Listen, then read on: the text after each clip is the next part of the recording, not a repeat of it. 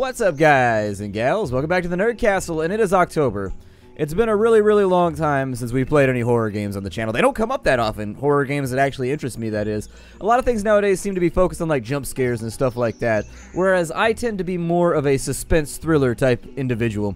And those don't come up very often, but this month we've actually got a huge docket of horror games that are coming out, between Through the Woods to Outlast 2 to Yomawari, they're just all over the place. And so I wanted to invite you all to play this with me. If you haven't seen Through the Woods, essentially it's a game that takes place in Norse country where there's like Viking ghosts or something. I don't know. I've only seen trailers. But it seems like there's going to be runestones and all kinds of scary stuff going on.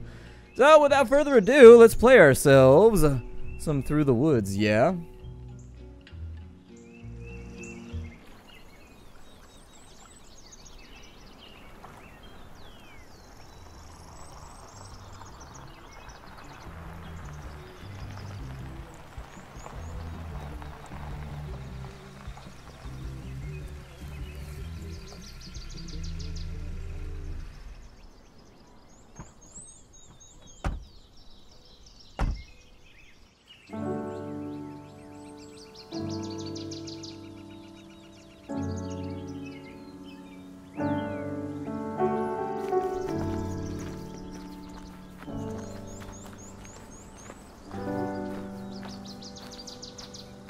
I'm gonna go exploring, Mom. Okay?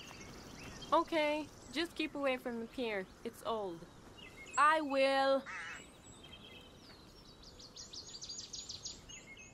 So here we are, red pixel jacket rocking. Actually, I'd rock that jacket right now. That jacket's pretty dope. It doesn't actually get cold enough where I live to wear a jacket like that, though.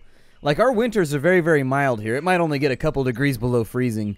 On, like, the worst day, it'll be, like, 14 Fahrenheit. I think that's pretty much, like, the lowest I've ever seen is, like, 4 or 5 degrees Fahrenheit where I live. It's not too bad. Not in Celsius, obviously, but in the summer it gets up to, like, 115 where I live, so... You kind of get the opposite end of the spectrum. It's more or less like hoodie weather where I live. So we're walking down to a dock or something. I mean, I'm your average kid. If you tell me not to go down and mess with the dock, I'm most assuredly definitely going to go down and mess with the dock. It's just the first thing that comes to mind when mom says not to do that.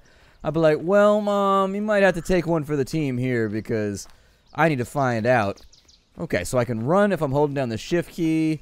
Here's our baller ass, whatever it is, that appears to be just a magnet for bird shit. Must have parked it under a tree or something. There's this gnarly tree at my apartment complex where I live, where if you park underneath it, like your car will be solid white by the next day. Just hundreds of birds up in that tree all the time. So where am I exploring at? Am I just like following trails or like what's happening? Oh, here it is. And here's how we get in trouble and get axe murdered. I knew it. Down to the lake we go. Yeah, we're rocking it right now. Is his beanie? Oh my god, his beanie is made by the same people that made his jacket. This kid is stylish. This kid's taking care of business. When he goes to the outlet mall, he gets everything at the same place. That's fancy right there. That's fancy schmancy. You can't hang out with this kid unless you got the credit card. Unless you got the credit card. She specifically said not to go down here and mess with the dock, but we're going to do it.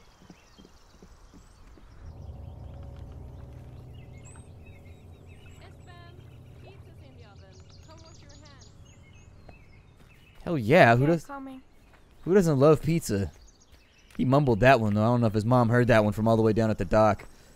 Back up the road we go. It's kind of a subjective road, really. It's not really an objective road. I, although our objective is at the end of it, so I guess you could look at it like that. It might be an objective road in that sense. Man, look at that door. It'd be so easy to burgle. Sorry, my neighborhood's not very nice, so I see doors like this and I'm just like, yeah, this person's doomed.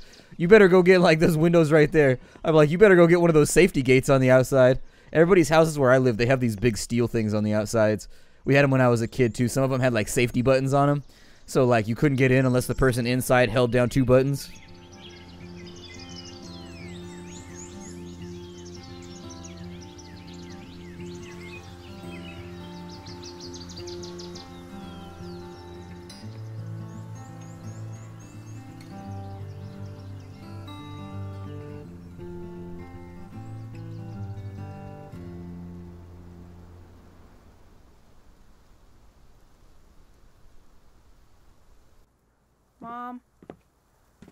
Hey, Mom, wake up. Mm.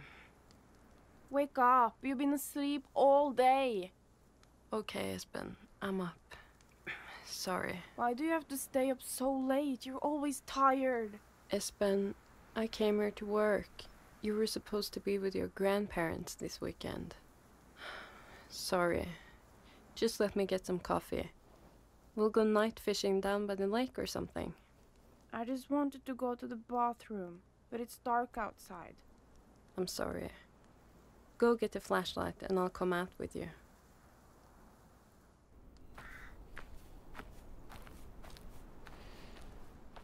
Yeah, I don't play that noise. at the stars, Espen. Not for a second. You gotta go out to the outhouse in the middle of the night in the pitch black? Mm-mm, I ain't feeling that. The few times I've had to do that when I was like out in the field doing a survey or something where it's like 2 in the morning, I don't care. I'll shit and pee right next to my tent. No shame about it whatsoever. I'll be four feet away from my tent. Don't give a damn. You coming? I thought you had to go. I do, just a sec. Aw, the door's got hearts on it. That's how you know it's not gonna try and kill us. There are a lot of huge bugs in there, though. You wait right here, won't you? Of course.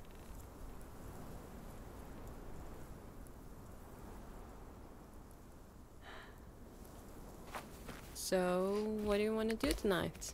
Mom, I'm trying to pee here.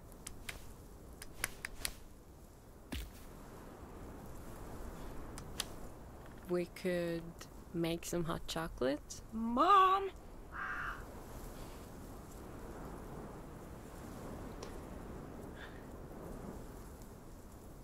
Go away! Just wait up the path. I can't go while you're standing there. Okay, little man, if you say so. Apparently, our son needs some Flomax or something. He needs help. Seriously, though, you should see a urologist. So, where up the path am I going? Just like back to the car? I'm going this way. Are you done in there, Espen?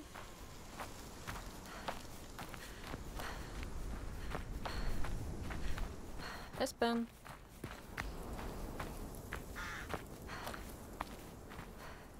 Stop messing around, Espen. I'm not in the mood. I mean it, Espen. Come out. Jesus, Espen. What are you doing? Sorry. I thought I'd see if I could scare you after all. You were getting there. Let's go inside. I don't know if I want to make you hot chocolate anymore. I was only kidding. I'm sorry. Please, can we have hot chocolate? Okay, but don't scare me again. And you're washing the cups. Okay. Hey, can I go down to the pier in the morning? I want to try catch some crabs. I'm pretty sure you're not going to find any crabs. It's a freshwater lake. Anyway, the pier is broken and dangerous. Please don't go down there by yourself. Fine. But I still want hot chocolate. I'm not going to pretend that I was a great mother. When Espen was born, I found, to my surprise, I felt nothing. My nightmare had come true, and I was left raising a child I didn't love. My friends became distant, and Espen's father and I began to fight. I resented them both. And one day, Espen and me were alone. But as Espen got older, I slowly began to realize something. I did love him. I loved him so much I ached. He became my best friend, my favorite thing. And I lost him. We lost each other. And I don't know if I can forgive myself. Or Espen.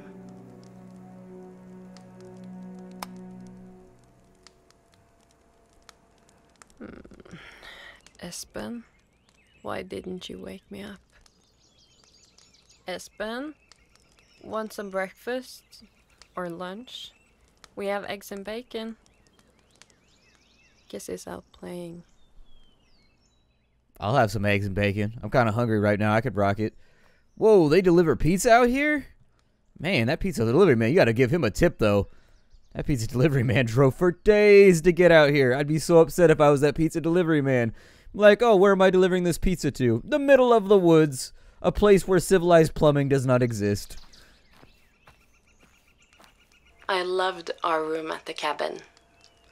Espen's reflectors looked nice in the sunlight, and his drawings fascinated me. He soaked up the world, and it bled from his imagination to the page in pastels and pen.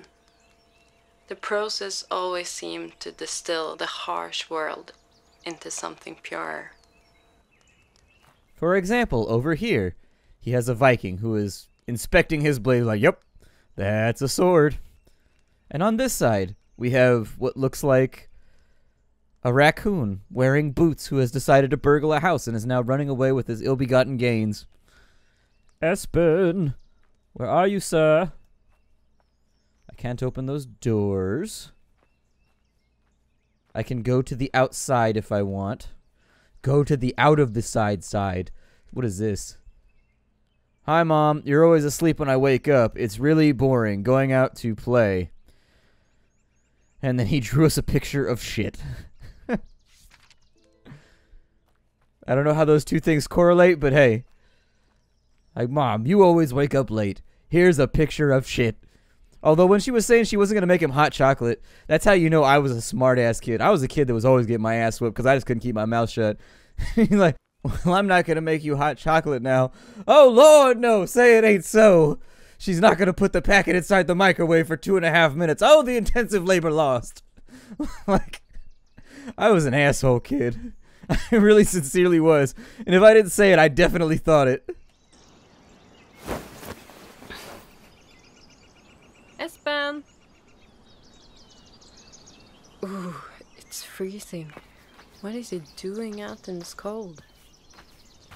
Next thing you know, you. Ben, I hope you're not down on the pier. I told you that thing's dangerous. Just mirror. Does it like when this lady talks? It sounds like she kind of got a plug nut. Talk to me, little man.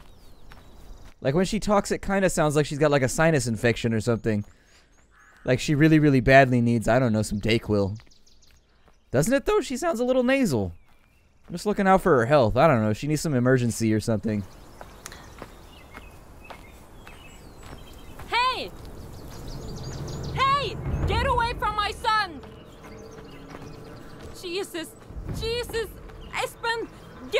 From him! Espen, I'm coming!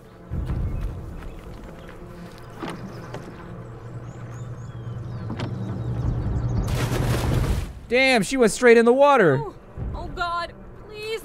Espen! Espen!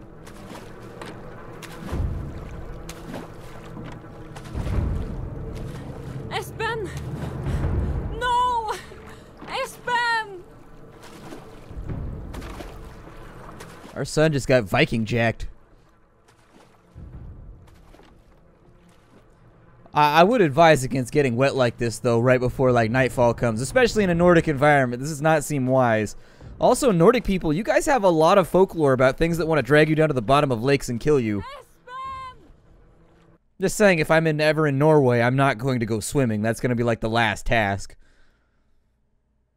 I ain't trying to mess around with weird, like, googly arm creatures that drag you to the bottom of the lake. Or to the bottom of the ocean. One or the other. They're both terrifying.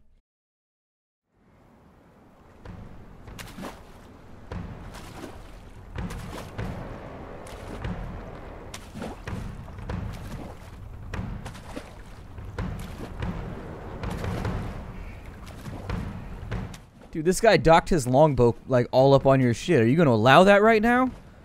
You better go fight this guy with mom powers. I'm just saying, my mom could throw hands, so Shit.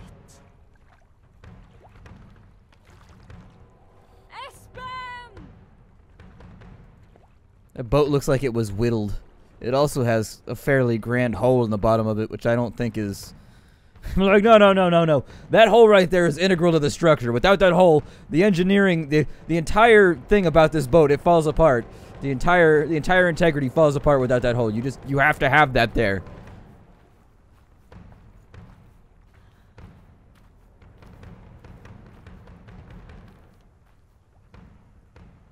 Apparently, they are aware of the hole in the bottom of the boat and have begun whittling another one. That boat's just makeshift for right now.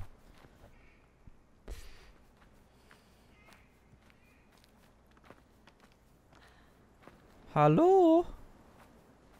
Anyone home? There's a bridge over there. How much you want to bet we're going to cross that bridge at some point? I bet we... Oh, there's like a ancient Viking fort up there. Espen! Shit, this can't be happening! Espen! Can either go that way or what's this way? Is there like a ravine over here or something? Oh, there's no ravine. I was expecting. Wonder if the branching path leads you to different stuff. Or if it like matters. It looks like she kind of wants to go up and over that rock right there, but can't quite get it. So mom skills, not climbing. She's fantastic at losing her kids to Vikings though. She put all of her points in there. Climbing rocks, however, that's a dump stat.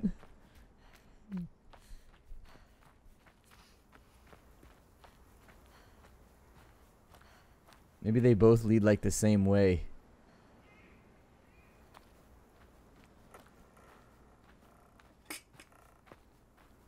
Espen! Hello? Espen? Where you at?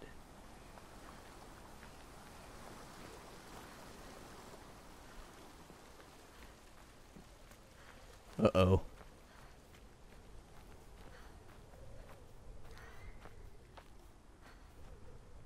It's Merkstad, where fools get murked all day long. They get murked and worked, and then suddenly shirked.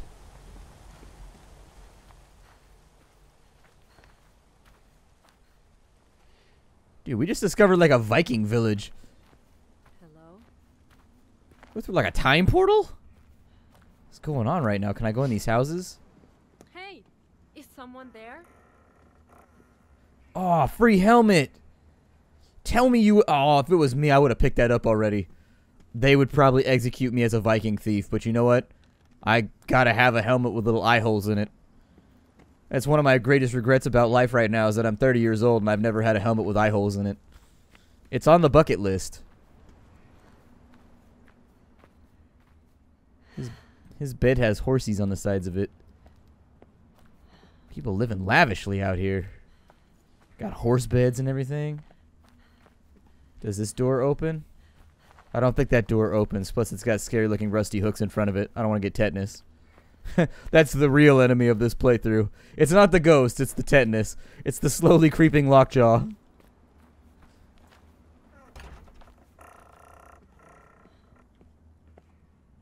Hello? Do you want me to come back later?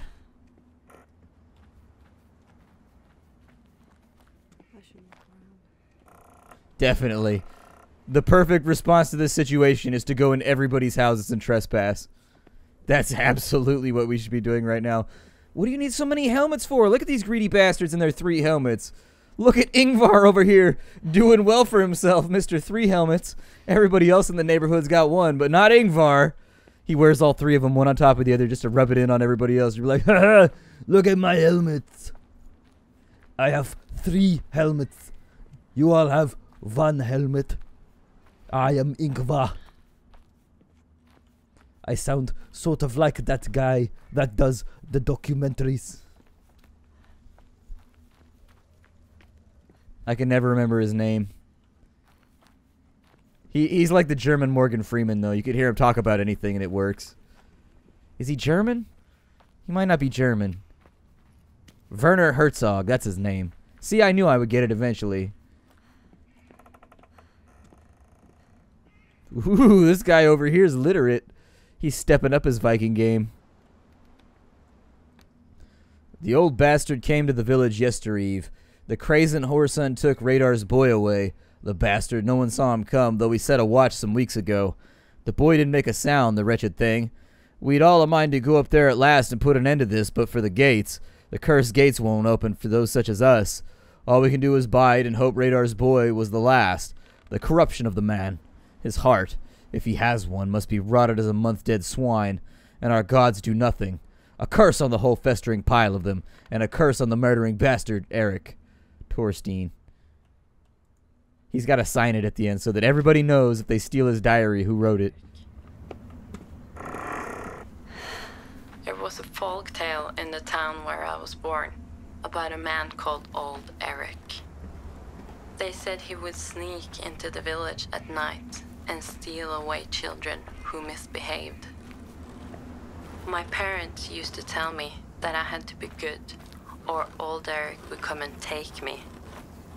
At the time, it didn't even cross my mind that the person in the journal could be the same man from the folk tales. But later, later I wasn't so sure.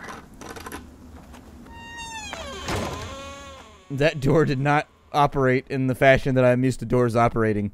This door right here seems to have gotten the memo. This door was like, eh, no energy to door right now. Just so tired all the time. Have so much trouble keeping my eyes open anymore. The doors have eyes, by the way, which is clearly a sign of heresy. Eh. There's a shield. See, we could have armed ourselves by now. I would have picked up the shield and the sword by now, and the helmet. Just in case this turned out to be an RPG and not a horror game. You never know. Next thing you know, goblins are bursting through the wall.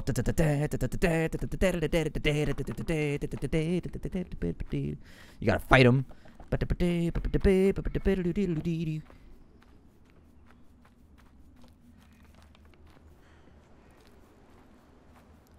Oh, dude, I need a long house like this.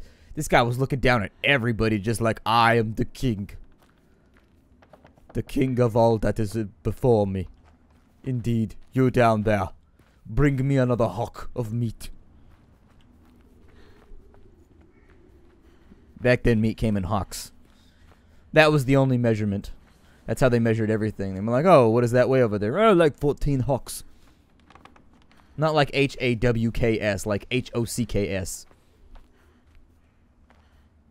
Is that thing right there? I wish I could zoom in. It looks like that might be like a silver coin or something on the table.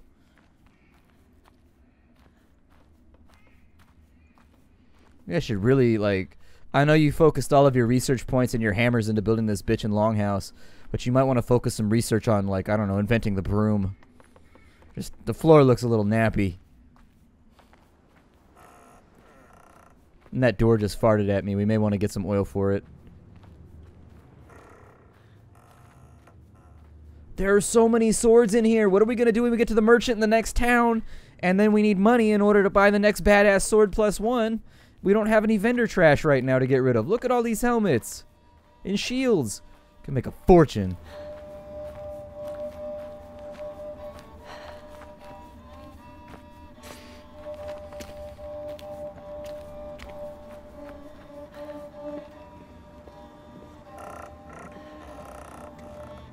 See, in the United States, when you hear this kind of music in the background, you normally assume that you're like in Appalachia somewhere, and we have movies about that particular experience which have taught us what to do and what not to do. Little film called Deliverance. This lady obviously has not seen it, but my guess is that this is going to turn into the Viking version of Deliverance pretty quickly. I will see you all in the next episode of Through the Woods. I hope you guys have enjoyed this one so far. A little bit of a rough start there, but it seems as though we've gotten the game moving at this point. I will see you all in tomorrow's episode. Thank you for stopping on in, and hi do, everybody.